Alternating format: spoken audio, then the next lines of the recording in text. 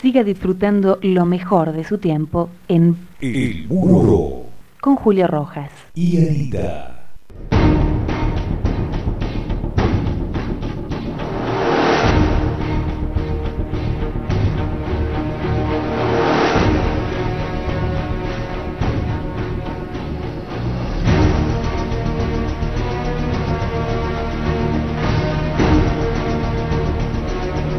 Quienes habían construido esta escuela. Y nosotros escribíamos un artículo periodístico en el semanario Cuarto Poder, en donde hacíamos referencia, decíamos, polos opuestos se unen para un mismo objetivo, no hacer un bien común. Es este caso la gente desocupada, ¿eh? Que quizás no tiene trabajo, no tiene dinero. Del otro lado, una persona, una señora millonaria de la Argentina, que unían fuerzas para hacer un bien común. Creo que eso es lo más importante que por lo menos deja aquí en la zona la señora Amalia Lacroce de Fortabad. Y así es, Julio, así que por eso quería agradecerte el espacio que, que nos ha dado ahora y de que como vos has sido partícipe de, de- de los hechos, de lo que se ha visto, entonces yo creo que, que la, la realidad muchas veces de lo que se habla marcan otras cosas. Y,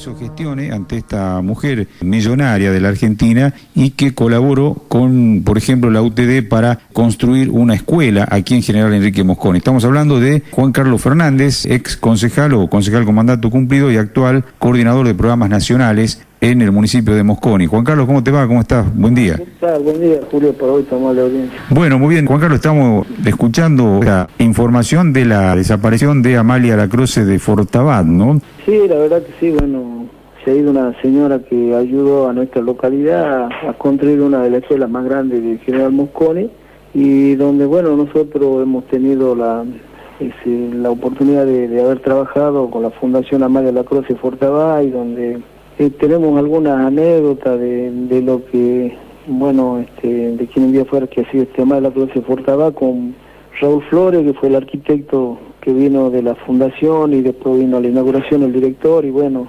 y cosas como esta, cuando no me olvido jamás que lo llevamos a, a Raúl Flores a- al Trementinal, fuimos en camión, en una camioneta fuimos y después cuando llegamos allá la camioneta nos dejó, no nos vuelto a, a buscar, bueno nosotros volvimos y volvimos a pie hasta Valle Dorado, caminamos casi 7 kilómetros, 8 kilómetros con, con el arquitecto, con Raúl Flores, que es el gerente financiero de la, de la fundación, y bueno, y después que él se fue a Buenos Aires, lo que vio, viajó en medio de un camión y de vuelta, en medio de los chanchos, todo por ahí, es como que no se olvidó jamás de eso, de eso, ¿no? Que también después transmitió la, el, proceso que tuvo para llegar al lugar, todo, y que bueno, después la señora Madre la Cosa Fortabá decidió de que se haga la escuela y poner los fondos para, para que se haga la escuela, ¿no? Y después, bueno, tuvimos la oportunidad que en su momento me dijo Raúl que, que la señora me quería conocer personalmente y bueno, tuve la oportunidad de conocerla en, Puerto Madero, donde Sí. tuvimos una, una reunión ahí y bueno, fue una de las mujeres más millonarias que, que ha tenido el país, o sea, la más, una de las mujeres, sí, la, número uno, mejor dicho, en, el país y bueno, para nosotros no queda eso de haber trabajado y de haber hecho cosas y bueno, que haya- ella haya devuelto algo de la riqueza que hizo en nuestro país, a- más que nada a nuestra localidad, ¿no? Claro, justamente recordaba esa frase que vos emitías en algún momento allí en el Consejo Deliberante cuando fuiste concejal, que el video está allí en, YouTube y justamente anoche estaba con los hermanos Espinosa que fueron también a tocar y está también el video allí en el canal El Imaginario 1 cuando se inauguró esta escuela en Trementinal, que es una escuela modelo, una escuela albergue para los chicos, eh, bueno, que tienen muchísimas necesidades allí. Y bueno, la verdad que seguramente ustedes tienen este recuerdo de que por lo menos aquí cuando peticionaron desde el Trementinal les ayudaron. Exactamente, y yo creo que eso eso también da una vuelta de página de, de lo que es este, una gestión y, y, y de una de las personas más ricas del país de- en dinero que hayamos tenido esa oportunidad de que se lo haya volcado en nuestra localidad. Por eso por ahí, después ya cuando pasa el tiempo, cuando cuando se realizan las cosas este, no se sabe el por qué o, o cómo ha sido el proceso de esto. Ha sido un proceso de cinco años para que se haga la escuela y bueno, hemos podido lograr que se haga, ¿no? Con financiamiento de la nación y, de la provincia, pero ahí se ve este, cuál es tu equilibrio político-económico como para desarrollar cierta gestión y, que se la haga de la magnitud y de la manera que se hizo, ¿no? Mm. Sin escatimar esfuerzo en el tema de, de, lo que de lo que se puso para que para que se haga la escuela, calcula que tenían una infraestructura básica enorme porque lo que se ha construido para las columnas portantes, en este caso han sido una excavación de, de 2 metros 50 por 2, o sea que es un, para pasar un edificio enorme con una, una viga de arrastre de, de 1 por 90 y yo creo que esto para una para una construcción de esta forma es ha sido algo algo enorme, una inyección de dinero y de, material que se ha puesto ahí, que sin escatamiento ha sido fenomenal para nosotros. Y bueno, yo creo que eso ha dado pie de que, de que sea de esa manera, incluso la arquitectura que tiene esa escuela, le hemos dado una arquitectura de acuerdo al lugar, de acuerdo a la referencia histórica de la época de, quienes han transitado ahí, de pueblos originarios como los incas y los diaguitas, y que y hoy, bueno, están los guaraníes que, que han permitido que esto sea así de esa manera. Yo creo que hay cosas que hay que, que destacarla por la actitud y por lo, por lo que a, nosotros nos ha tocado vivir, nos ha tocado realizar en el lugar a, a través de cuando por ahí uno gestiona y anda y anda y anda, mm. eh, por ahí se da en la tecla que corresponde y, y bueno, y son las cosas que después el Estado provincial, que no, no había puesto dinero, nada, fue a inaugurar cuando por ahí hay en el canal 13, que es el canal de, de televisión que, que vino María Julia Olivar en su momento en el programa Andy por su nombre, hizo un reportaje al ministro bancable y el ministro decía que no se, no se podía cruzar los materiales, cómo lo iban a hacer, de qué manera, en el reportaje que le hacían y mm. que era casi como imposible realizar, y había que hacer un esfuerzo sumamente enorme para hacer, bueno, todos los materiales que se ha cruzado ahí, la gente que ha trabajado ahí, lo ha cruzado en canoa, cruzar viguetas, ladrillones, cemento en una sola canoa, no en varias, sino en una sola canoa, en un tránsito con el río crecido, algunas veces de cruzar los materiales, yo creo que eso eso significa el enorme esfuerzo que se ha puesto y que ha sido en algo privado y un esfuerzo, un esfuerzo de la UTD que, que, es un esfuerzo enorme que va a quedar marcado para toda la vida, no solo para la gente del lugar, eh, sino también con quién se lo ha realizado y, de qué forma, ¿no? O sea que eso, eso es lo que marca en la vida y registra, registra lo que, lo que hoy es una realidad y bueno, que la señora que hoy no está en vida, que, que por lo menos puso un pelo de su cabeza, que es importante eso para, para nosotros, ¿no? Por, lo digo por la cantidad de, dinero que tenía, eh, calcular que son 1.988 millones de pesos que tenía fortuna de dólar que tenía la, la señora María Lacroce Fortabá, y bueno, para nosotros esto va a quedar un, un hecho dentro de una referencia histórica muy grande para, para nosotros en lo personal, Yo creo que eso es importante para que la gente se dé cuenta de que cuando hay esfuerzo hay hechos también. Claro, claro más estará, digamos, hacer las críticas en este momento, algunas acciones que tuvo para bien o para mal en la Argentina, pero bueno, en este momento ustedes recuerdan la, digamos, la actitud que tuvo hacia con general Enrique Mosconi, ¿no? De tanto dinero que tiene, haber invertido un poco que sea para tener esta escuela albergue que cobija y alberga a cientos de chicos allí en el Trementinal y toda esa zona, ¿no? Que es una zona fronteriza con Bolivia donde hay muchísimas necesidades, ¿no? Así como medialunas, como madrejones, que también hay mucha gente aquí que pelea por Madrejón y por toda esa zona. Sí, esto es así, Julio, este, por eso digo yo que esto, esto, esto lo marca uno y con la, con la tecnología nueva, con, con, la parte sustentable nueva de, de, la no contaminación también en cierta forma, porque hay este, este son la, electricidad a través de es la que genera electricidad ahí, ¿no? Es como con los paneles solares. Los paneles solares, exactamente como el caso de, del GAI y todo lo que lo que la fundación puso para que esto sea así, no, no me mm. olvido jamás que, que los chicos cuando tenían que ir a pie al otro lado a Bolivia, al otro lado del río, cuando después se le hizo una escuela rancho que le hicimos nosotros y que después continuamos con esto y ahora que sea una de las escuelas más grandes de, de la localidad General Mosconi, una escuela modelo en el país por el diseño que tiene y por, por, por cómo se ha construido. Yo creo que eso es eso es lo que lo que marca, mejor dicho, dentro de lo que de lo que se ha realizado se ha desarrollado y de la manera que se hizo. Mm. Yo creo que eso también marca porque muchas veces cuando se hacen las construcciones a través del Estado se demora un montón y esta construcción ha durado solo ocho meses. ¿no? Y en ocho meses se ha logrado tener este, la construcción de esta escuela y con ladrillo y ladrillones que son cosas que, que en el lugar para para para ese para ese lugar y, y tan alejado de, del lugar donde nosotros vivimos ha sido un esfuerzo totalmente grande gran- grandísimo porque a eso tenés que sumarle toda la la parte burocrática y gendarmería que no te deja pasar, que no te deja llegar, que un montón de, de problemas que, que tenías constantemente. Mm. Y bueno, ese esfuerzo es lo que ha valido a través de- del dinero que puso Mario Lacroix por Tabana. Muy bien, Juan Carlos, mm, seguramente, bueno, esto va a quedar en la memoria de aquella escuela, ¿no? Cada vez que se realice un acto allí, y por lo menos se va a recordar por eso a esta señora millonaria que hoy desapareció, y más exactamente en el Trementinal. Así es, Julio, eh, ya te agradezco y bueno, yo creo que otra vez más una- la historia de, de nuestras cosas va a marcar porque esto está marcado también la escuela de Trementinal en algunos, en algunos lugares, en diferentes universidades del país.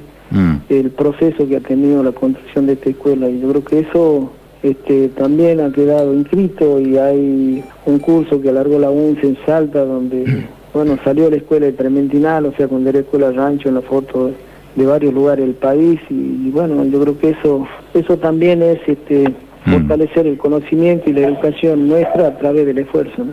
Claro. así que Bueno. bueno, era esa, recordar esa anécdota, Julio, y bueno, por lo menos yo me he llevado el- una parte buena, a lo mejor digo, de, de haberla conocido a esta señora personalmente y, y de haberla conocido de otra forma y no de una forma que por ahí este, ha habido cosas buenas o cosas Claro, se la que habrá cuestiona, digamos, por otra forma que se la cuestiona. Yo en, esa forma Claro. personal que la conocí, para mí, bueno, Claro, o sea, vos la conociste personalmente, digamos, cara a cara, en face to face. Exactamente, personalmente, cara Ajá. a cara, tuvimos la oportunidad de, en ese momento fui invitada por ellos en, en un lugar en Puerto Madero, donde, Ujú. bueno, tuve la oportunidad de almorzar personalmente, cara a cara con ellos, yo creo que eso, Mira vos. eso por ahí... Seguramente eso sos uno de los pocos que tuvo ese, digamos, esa oportunidad, ¿no? De estar almorzando con Amalia Lacroce de Fortabat. Sí, por eso por ahí digo yo, por ahí con los perfiles que uno tiene, por lo que uno hace, por ahí no lo quiere decir, pero este como, este, ahora que también uno puede decir, yo lo conocido a varios presidentes de Latinoamérica y, Mm. y de que uno haya estado así como estuvo con Amalia Lacroce de Fortabat Claro. personalmente y bueno, yo creo que son experiencias y son cosas que te dejan marcado para toda la vida y bueno, yo no quería dejar pasar este momento también de en tu programa que- porque vos Mm. Bien. fuiste y viste el hecho de la realidad. Claro, claro. Y está, Juan Carlos, tu actuación allí en el Consejo Deliberante cuando mencionabas, ¿no? Que la señora Amalia Lacroce de Fortabat ayudó a Mosconi a construir esta escuela. Y también está el video, ¿no? De la inauguración de la escuela, en donde también fue el gobernador de la provincia de Salta, Juan Manuel Tubey, en aquel momento el ministro, el excéntrico ministro Leopoldo Van Cauler, y vos fuiste por parte de la UTD. Y nosotros escribíamos, ya lo vamos a buscar, una nota, un artículo periodístico en el semanario Cuarto Poder, en donde hacíamos referencia, decíamos, polos opuestos se unen para un mismo objetivo, no hacer un bien común. Es este caso la gente desocupada, ¿eh? Que quizás no tiene trabajo, no tiene dinero. Del otro lado, una persona, una señora millonaria de la Argentina, que unían fuerzas para hacer un bien común. Creo que eso es lo más importante que por lo menos deja aquí en la zona la señora Amalia Lacroce de Fortabad. Y así es, Julio, así que por eso quería agradecerte el espacio que, que nos ha dado ahora y de que como vos has sido partícipe dentro de, de- de los hechos, de lo que se ha visto, entonces yo creo que, que la, la realidad muchas veces de lo que se habla marcan otras cosas y, y yo creo que ese es lo más grande, lo que, lo que vos estabas diciendo ahí, de que por ahí ideológicamente o a lo mejor en otras cosas no, no, no nos unía nada, pero sí un objetivo común que era el bien de, de construir esta escuela, ¿no? Entonces yo creo que todas estas cosas son lo que, lo que va marcando en la vida y en el proceso de las cosas que, que uno realiza o hace, ¿no? Por ahí, y este como te digo yo, este, poder recibir críticas, poder decir lo que quiera y son bien recibidas mientras sean de buena leche, pero lo que nadie te va a quitar es el hecho de haber realizado y desarrollado cosas.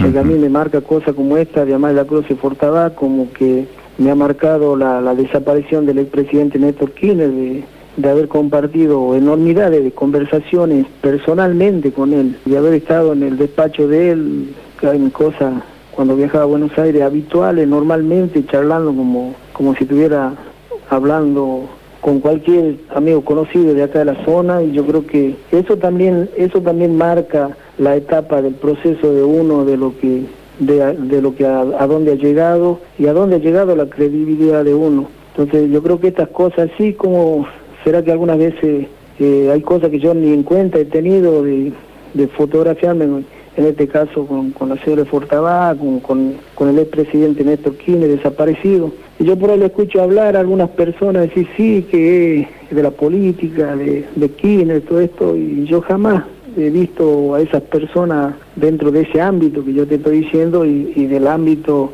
ya prácticamente de la, como se dice por ahí, de la política de arriba, ¿no? Mm.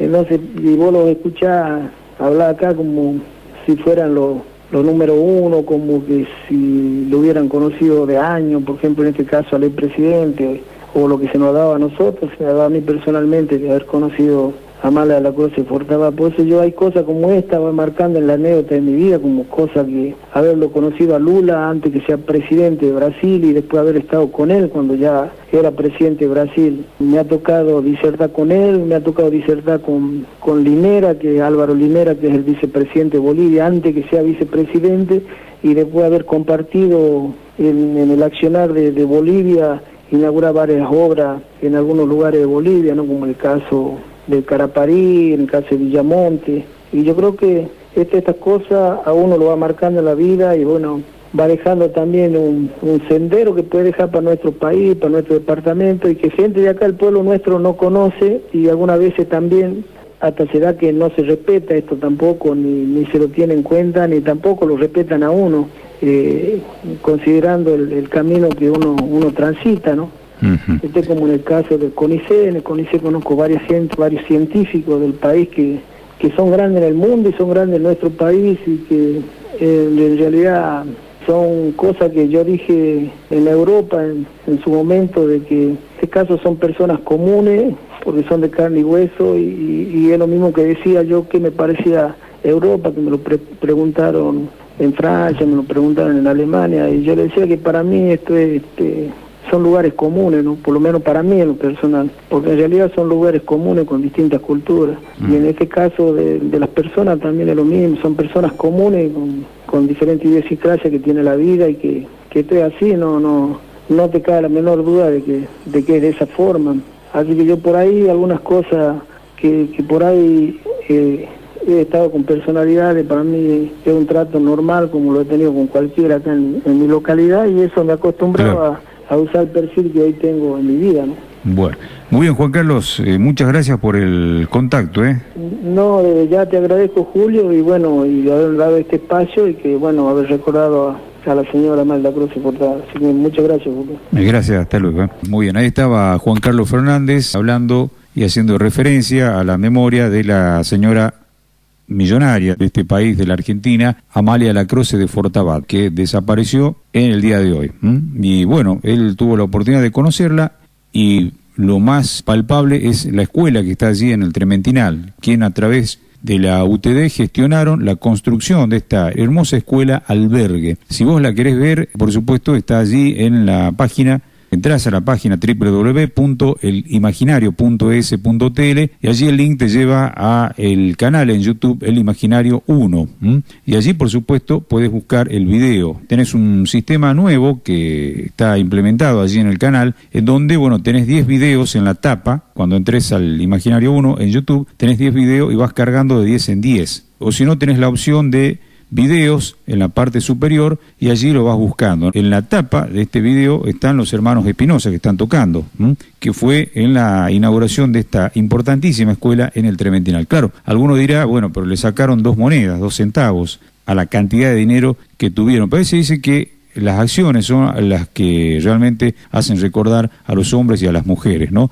En este caso, por lo menos aquí en Mosconi la vamos a recordar como la señora que también, entre otras cosas que pasó en Argentina, también inauguró una escuela, en este caso para los chicos del Trementinal. Seguimos en el muro. Siga disfrutando lo mejor de su tiempo En el muro.